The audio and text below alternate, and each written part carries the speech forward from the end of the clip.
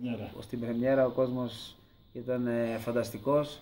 Πιστεύω ότι στην πρώτη, στο πρώτο παιχνίδι που θα δώσουμε, αν είναι μέσα στο Κλεάνδης Βικελίδης, πιστεύω ότι το γήπεδο θα είναι γεμάτο γιατί και ο κόσμος βλέπει ότι γίνεται μια τεράστια προσπάθεια από τη διοίκηση, από τους ποδοσφαιριστές και από το τεχνικό team και πιστεύω ότι όλοι θα είμαστε μαζί για να πανηγυρίσουμε την άνοδο στην Αλθαθνική εκεί που ανήκει πραγματικά ο Άρης.